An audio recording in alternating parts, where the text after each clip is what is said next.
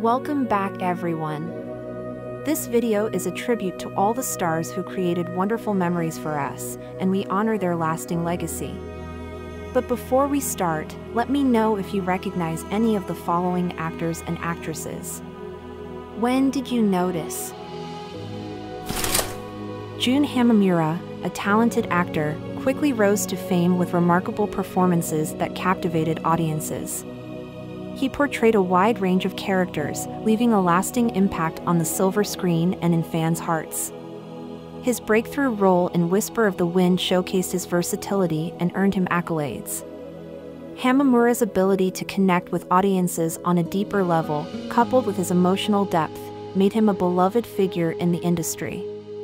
Tragically, his life was cut short by a sudden illness, leaving a void in the entertainment world.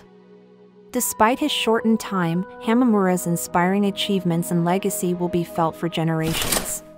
Carroll O'Connor, an American actor, achieved fame through his iconic portrayal of Archie Bunker in All in the Family. O'Connor's exceptional talent earned him four Primetime Emmy Awards.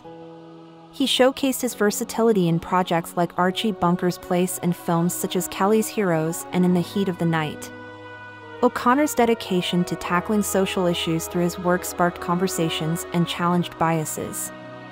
Sadly, he passed away on June 21, 2001, at 76 due to a heart attack. His legacy as an influential actor and advocate for change lives on. Donald MacBride, (1889–1957) was a renowned actor whose talent and dedication made him beloved during the golden age of Hollywood.